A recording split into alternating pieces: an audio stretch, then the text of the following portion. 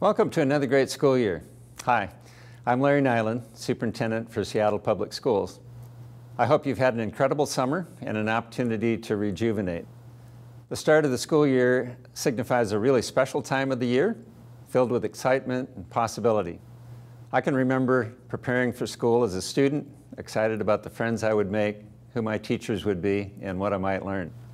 I feel the same sense of excitement today as I look forward to the great work that we'll do together to benefit students and their families.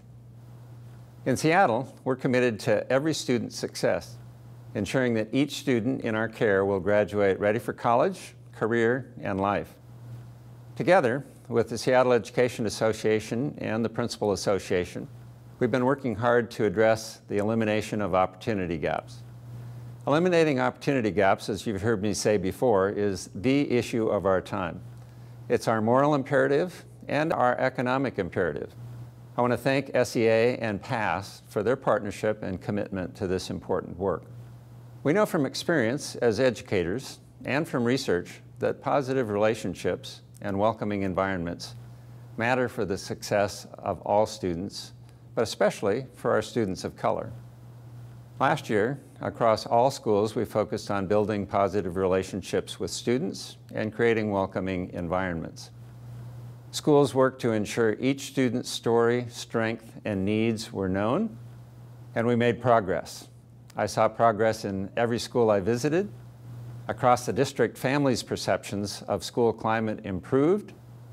In the family survey, families saw that schools were more welcoming and more culturally responsive these gains are because of your hard work.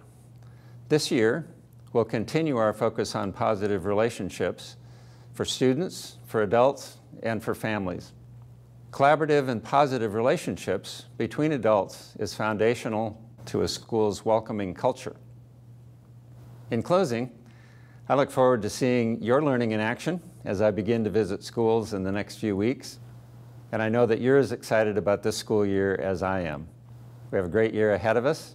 Thank you for everything that you do. It's my honor to serve with you. Hi, I'm Phyllis Campano, Special Education Teacher and Seattle Education Association President. Welcome back to the 2017-18 school year. SEA is committed to empower educators in providing opportunities for all students to reach their full potential. Paraprofessionals, office professionals, teachers, nurses, all educators have an impactful role in students' education and success. We can lead in the work to eliminate the opportunity gap and to build an equitable public education system. In the 2015 bargain, we brought forward the inequities of our system, bringing disproportionate discipline as the focus for our equity teams.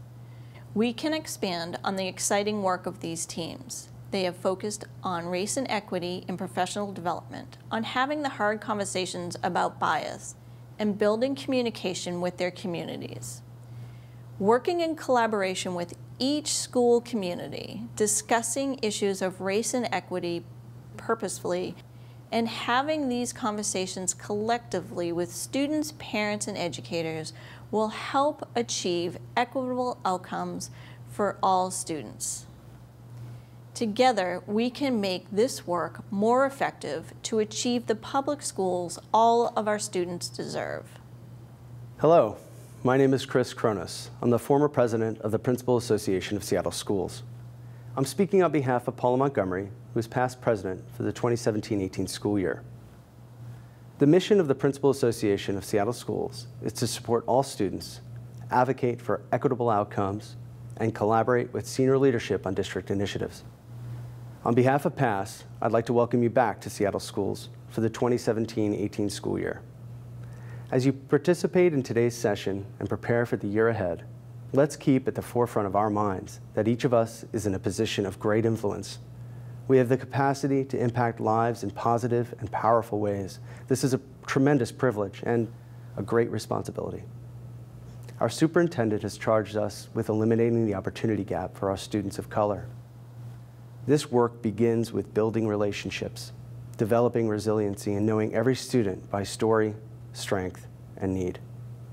It is important and rewarding work that will take collective knowledge, an open mind and heart, as well as dedication and commitment. Together, we will accomplish our goals. Our students deserve the best from us, our families deserve the best from us, and we must approach the work with integrity, responsibility, and self discipline. We can initiate changes that ensure our students are loved, supported, and respected. I wish you all a fantastic day of collaboration and a successful year ahead.